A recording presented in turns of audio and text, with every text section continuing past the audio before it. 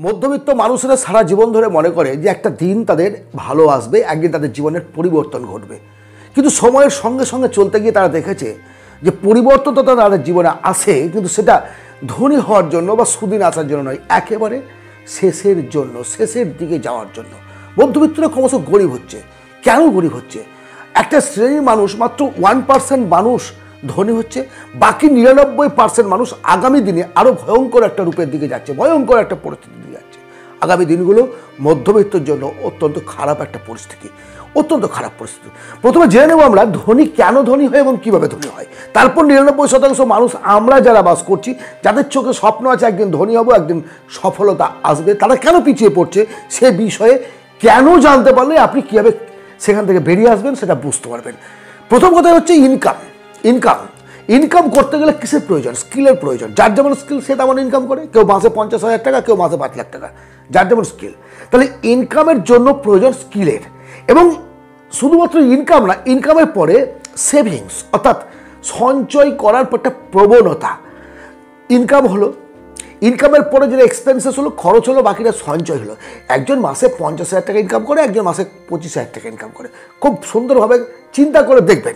যে মাসে পঁচিশ হাজার টাকা ইনকাম করে, সে কুড়ি হাজার খরচ করে পাঁচ হাজার টাকা সঞ্চয় করে। আর যে পঞ্চাশ হাজার টাকা ইনকাম করে, তার যেহেতু ইনকাম বেশি, খরচ বেশি, সে কিন্তু একদম জিরো ব্যালেন্সে চলে, এমনকি তাকে আবার ধার নিতে হয় ক্রেডিট কার্ড থেকে। আপনি বলুন, ভবিষ্যতে কে ধনী হবে? কে ধনী হবে ভবিষ্যতে? ভবিষ্যতে এই কুড়ি হাজার টাকা বেতন পাওয়া ছেলেটি ধনী হবে। সঞ্চয় যেমন একটা ফ্যাক্টর তারপরে হচ্ছে সঞ্চয়ের যে টাকাটা, সেটাকে একটা কোথাও ইনভেস্ট করা। অর্থাৎ ইনকাম করো, সঞ্চয় করো ইনভেস্ট করো, ধনী হও। অত্যন্ত সহজ একটা পদ্ধতি। এখন আপনাদের মধ্যে একটা প্রশ্ন আসবে যে এই সহজ পদ্ধতিটা, তাহলে আমরা কেন মেনে চলতে পারছি না? কেন আমরা ধনী হতে পারব না? কেন আপনারা, আপনি বলছেন, স্যার, যে মধ্যবিত্তরা ক্রমশ গরিব হবে, মধ্যবিত্তরা একটা সময় নিঃশেষ হয়ে যাবে। কেন বলছেন? কারণটা হচ্ছে, এই যে সহজ পদ্ধতিটা অত্যন্ত সহজ, সত্যি কথাই। সেটা ওয়ান পার্সেন্ট ধনী লোকেদের জন্য, বড় লোকেদের জন্য। আপনি আগামী দিনে নিজে একেবারে নিঃশেষ হয়ে যাবে। কেন? এবার তার একটু পর্যালোচনা করি।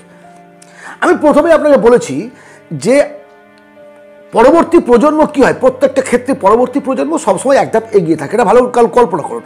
আমার দাদু হেঁটে যাওয়া আসা করতেন, বাবা সাইকেলে যেতেন, আমি বাইকে যাচ্ছি, আমার ছেলে গাড়িতে যাবে। এই তো পরবর্তী জেনারেশনের যে স্টেপ বাই স্টেপ উন্নতি, সেটা এত এতদিন পর্যন্ত ধারাবাহিকভাবে চলছিল। কিন্তু আগামী দিনে কী হবে? আগামী দিনে গাড়ি থেকে তাকে সাইকেলে মোটর সাইকেলে হেঁটে ইত্যাদিতে আসতে হবে। কারণ সময়ের সঙ্গে তাল মিলে চলার মতো ইনকাম করা ক্ষমতা আগামী প্রজন্মের মধ্যবিত্ত ছেলেদের মধ্যে থাকবে না। থাকবে না। আমরা মধ্যবিত্ত পরিবারের সন্তানেরা চিন্তা করি যে বড় হয়ে বাবা মায়ের পাশে দাঁড়াবো। ঘটবে ঠিক উল্টোটা। বড় হওয়ার পরে বাবা মাকে আমাদের পাশে দাঁড়াতে হবে। একটা সময় লাইফস্টাইল চিন্তা করি। একটা সময় আমাদের বাড়িতে একটা ফোন ছিল, সবাই মিলে ব্যবহার করতাম। এখন কি হচ্ছে? হাতে হাতে একটা করে ফোন এবং বছরে একবার করে চেঞ্জ করা। একটা সময়ে হয়তো এক বছর, দু বছরে বাইরে কোথাও খেতে যেতাম। বর্তমান সময়ে আমরা হয়তো সপ্তাহে দুদিন যাই বা একদিন যাই। এক্সপেন্সেস বাড়ছে তো, খরচ বাড়ছে তো, সেই তুলনায় কি ইনকাম বেড়েছে। আমি বলেছি মধ্যবিত্ত পরিবার গরিব হবে হওয়ার পথে চলছে যদি এখন থেকে সাবধান না হয়। আর ধনীদের ক্ষেত্রে ধনী হওয়াটা অত্যন্ত সহজ পদ্ধতি। তাহলে আপনি যেহেতু বুঝে গেছেন যে ইনকাম সঞ্চয় ইনভেস্টমেন্ট করলেই আমি ধনী হব, কিন্তু অত সহজ নয়। ইনকাম করার জন্য কি প্রয়োজন? ইনকাম করার জন্য প্রয়োজন স্কিলের স্কিল কোথা পাবেন? এডুকেশন মধ্যবিত্ত ছেলের বাবা মায়েরা, আমরা চিন্তা করি সবসময়, আমার ছেলেকে একটা ভালো স্কুলে পড়াবো। যেখানে আমার ক্যাপাসিটি এক হাজার টাকা মাসে দেওয়া, সেখানে তিন হাজার টাকা মাসে বেতন দিয়ে একটা প্রাইভেট স্কুলে ভর্তি করলাম।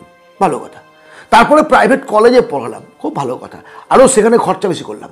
আমার সাধ্যের বাইরে খরচা করতে গিয়ে এডুকেশন লোন নিলাম। খুব সুন্দর পদ্ধতিতে আমি ছেলেকে পড়াশোনা করলাম। যখন ছেলেটা এডুকেশন শেষ করে বাড়ি ঘুরলো, তখন তার হাতে ডিগ্রির বোঝা একটা কাগজ জাস্ট একটা কাগজ। সেই কাগজ কেন এই কারণে বললাম আমি যে ছ মাস এক বছর ঘুরে ঘুরে দরজায় দরজায় সে কোথাও চাকরি পাচ্ছে না। চাকরি পাচ্ছে না।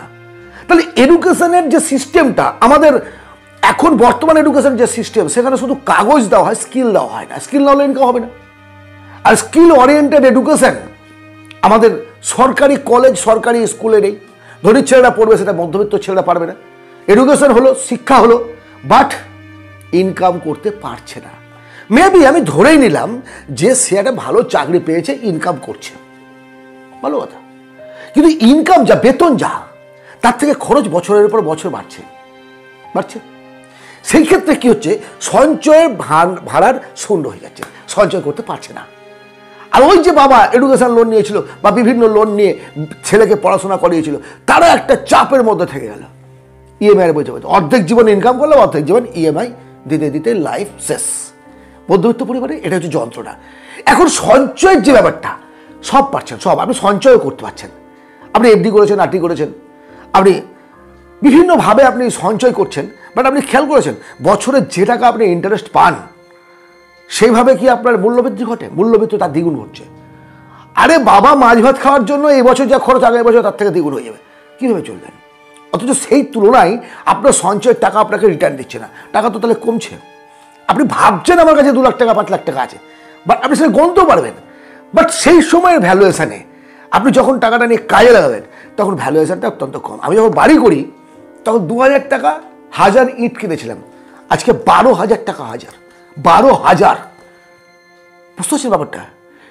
বুঝতে পারছেন ব্যাপারটা? ইনফ্লুয়েন্সটা কীভাবে বাড়ছে? এখন আমরা মধ্যে একটা প্রশ্ন আসবে, দেশের তো অর্থনীতি বাড়ছে। তাহলে আমাদের এখানে বাড়বে না? আমরা কেন অত পত্র যাব বলছেন স্যার?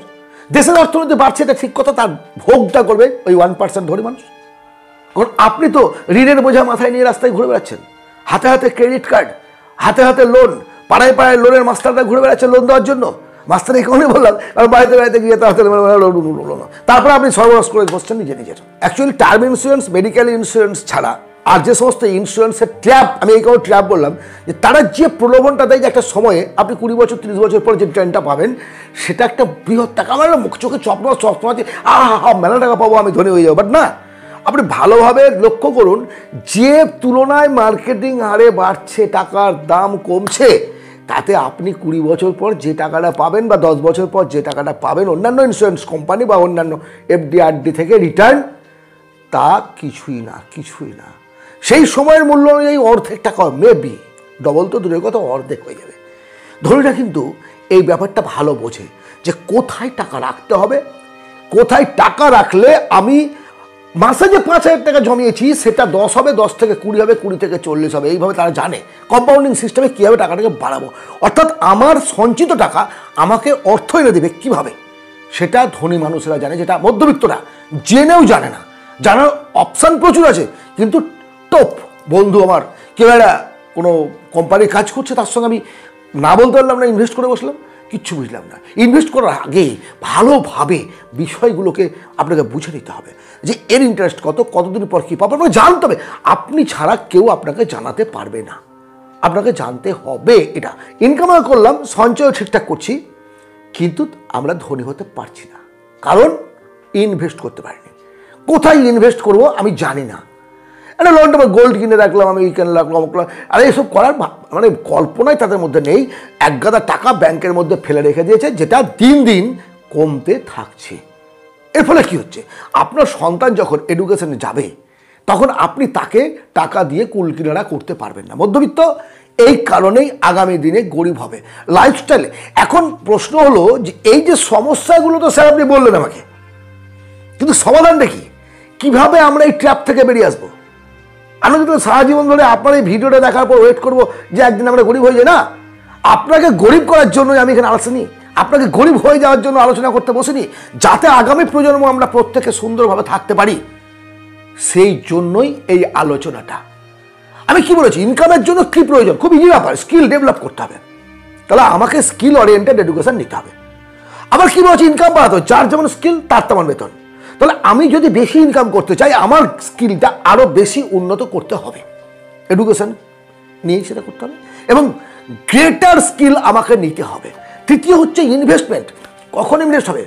আমার অর্জিত টাকা খরচ করার পর বাঁচলো, আমি সঞ্চয় করলাম।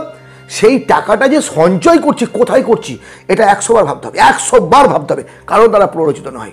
আমি নিজে বুঝি, একদম নিজে বুঝে নিয়ে সেই খাতে আপনি টাকাটাকে সঞ্চয় করুন। সঞ্চয় করার পর, এখন মাসে পাঁচ হাজার টাকা সঞ্চয় করে তো আপনি ইনভেস্ট করতে পারবেন না। সঞ্চয় এবং ইনভেস্ট আলাদা। সঞ্চয় হচ্ছে যে টাকাটা সঞ্চয় আপনার কাছে বাঁচলো, সেই টাকাটা আপনি সঞ্চয় করলেন। পাঁচ হাজার, সাত হাজার, দশ একশো, আমি অনেককে জানি যারা, আমি দেখেছি সেভিংস অ্যাকাউন্টে তা অনেকের দু লাখ টাকা পড়ে আছে, ফালতু পড়ে আছে, দু বছর, তিন বছর থেকে। কোনো হেলদোল নাই। একটু বুদ্ধিমত্তার যদি টাকাটাকে একটু সরিয়ে নিয়ে একটা এফডি করে দেয় ছ মাসের জন্য, এক বছরের জন্য, তাহলে কিন্তু একটা ইন্টারেস্ট পায়। অর্থাৎ মানি ম্যানেজমেন্ট সংক্রান্ত আমাদের তথ্য নেই। মানি ম্যানেজমেন্ট জানতে হবে। আপনাকে আমি বলব সেভিংস করুন ফাইন্যান্সিয়ালি ফ্রিডম হন ফাইন্যান্সিয়ালি ফ্রিডম হওয়ার পরে একটা মোটা টাকা হয়ে গেলে সেই টাকাটাকে ইনভেস্ট করুন যেন সেই টাকা আপনার জন্য টাকা থাকে? করে ইনভেস্ট করুন? স্টকে করুন শেয়ার মার্কেটে করুন গোল্ডে করুন ল্যান্ডে করুন হাউসিংয়ে করুন, যেটা আপনি বুঝবেন যেটা আপনার কন্ট্রোলে থাকবে। যেগুলোতে আপনি রিটার্ন পাবেন অনেক বেশি, যেখানে কম্পাউন্ডিং ইন্টারেস্টে আপনাকে টাকা ফেরত দেওয়া হবে, অর্থাৎ পাঁচ পঞ্চাশ হতে পারে। পাঁচ কখনো চার হবে না, পাঁচ পঞ্চাশ হতে পারে। অর্থাৎ ইনফ্লুয়েন্স এই ব্যাপারটা আপনার টাকা বুঝবে। এখন কথা হলো আমরা আমি তো স্যার আমি সব কিছু বুঝলাম, কিন্তু আমার পরিবার, আমার বউ, আমার ছেলে যে বুঝছে না না। আজ থেকে আপনার পরিবারের প্রত্যেকটা সদস্যকে অর্থের যে মাহাত্ম আগামী দিনের যে দুর্বিষহ যন্ত্রণার কথা প্রত্যেকের মধ্যে শেয়ার করুন, প্রত্যেকে জানান। প্রত্যেকের জানা উচিত। প্রতিটা মানুষ আছে, পরিবারের যতগুলো মানুষ আছে, তাদের প্রত্যেকের মধ্যে কীভাবে টাকা ইনকাম করতে হয়, কীভাবে টাকা সঞ্চয় করতে হয় স্কিল ডেভেলপমেন্ট করতে হয় কীভাবে? কীভাবে আগামী দিনে চলবো? কীভাবে খরচকে বাঁচাবো? কেন বাইরে খেতে যাব না বারবার? কেন আমাদের ইনফ্লুয়েন্স কমে যাচ্ছে? টাকা আমার থেকেও কেন থাকছে না? সমস্ত বিষয় আপনার সন্তান, আপনার স্ত্রী যেন জানে। আপনি ইনকাম করবেন, আপনার বউ গোয়াল করে সব টাকা বার করে নিয়ে চলে এবার ছেলে টাকা উড়িয়ে দিয়ে চলে আসবে। কষ্টার্জিত টাকা, ঘাম ঝরানো টাকা আপনি এক সময় দেখতে পাবেন না। নিজের ক্ষমতার বাইরে কোনোভাবে খরচ করবেন না। সোয়াপের জন্য খরচ করবেন না। আপনার যেটা নিড আপনার যেটা প্রয়োজন, সেটা করুন। দু হাজার সাল পর্যন্ত, বারবার বলেছি দু হাজার সাল পর্যন্ত আমাদের যে পূর্বজ, আমাদের যে জেনারেশনের বাবা মা, তাদের লাইফস্টাইল কী ছিল? কোনো রকমে একটা দুটো জামা প্যান্ট, আর আজকে আলমারি ভর্তি জামা প্যান্ট ভরা আছে। তাদের লাইফস্টাইলের সঙ্গে আমাদের চলবে না, তারা অল্প ইনকাম করেও আমাদের সাপোর্ট করতে পেরেছে। আজ বহু টাকা ইনকাম করেও আমরা আমাদের পরবর্তী প্রজন্মকে সাপোর্ট করতে পারব কিনা সন্দেহ আছে। যদি সত্যি এই ট্র্যাপ থেকে বাঁচতে চান। যদি চান মধ্যবিত্ত তকমা থেকে বেরিয়ে এসে ধনী হব, উল্টো পথে চলবো, দারিদ্রতার দিকে সবাই এগিয়ে যাচ্ছে, আপনি যদি চান দারিদ্র, ধনী হব, সেই ক্ষেত্রে ঋণ নেবেন না। যা ইনকাম করেন, আপনার ক্যাপাসিটির থেকে কম খরচ করুন, সঞ্চয় বেশি করুন, সঞ্চয়ের টাকাটাকে ইনভেস্ট করুন। দ্বিতীয়বার, তৃতীয়বার, চতুর্থবার, ভিডিওটিকে ডাউনলোড করে প্রথম থেকে শেষ পর্যন্ত শুনুন। যে যে কথাগুলো মনে হয় লিখে নেওয়ার, লিখে নিন। যে কথা, যে পয়েন্টগুলো বললাম যে অর্থ ইনকাম করার জন্য, অর্থ সঞ্চয় করার জন্য স্কিল ইত্যাদি ইত্যাদি যা বলেছি, সেগুলো আপনি জানার জন্য গুগল সার্চ করুন ইউটিউব দেখুন, বই পড়ুন, অথবা যে দাদা জানে তার কাছ থেকে গিয়ে জেনে নিন। না জেনে কিছু করবেন না। জানুন, চোখ কান খোলা রেখে আগামী দিনে এগিয়ে যান। আমি চাই দারিদ্রতার থেকে বেঁচে মধ্যবিত্তরা যেন আগামী দিনেও ধনী হতে পারে। আজকের এই আলোচনা যদি আপনাদের ভালো লাগে, দয়া করে একটা লাইক সাবস্ক্রাইব করবেন। সঙ্গে থাকবেন। কারণ আপনাদের কমেন্ট আপনাদের লাইক আপনাদের সাবস্ক্রিপশান আমার আগামী দিনের পথ চলার বন্ধু। আপনারা আমার প্রিয় ফলোয়ার আপনারা আমার পথ চলার অনুপ্রেরণা। আমি আমার সমস্ত পরিশ্রম ইউটিউবে আপনাদের জন্য ঢেলে দেব। যদি আপনারা আমার সঙ্গে থাকেন। ধন্যবাদ, ভালো থাকবেন। আগামী দিনে আবার কথা হবে।